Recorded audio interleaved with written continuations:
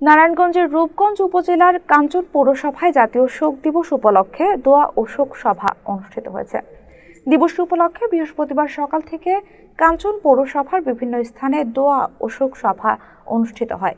এরই ধারাবাহিকতায় কাঞ্চন পৌর আওয়ামী লীগ ও সহযোগী অঙ্গ সংগঠনের উদ্যোগে সাতটার jute mill model high school মাঠে এ শোক সভার আয়োজন করা হয়।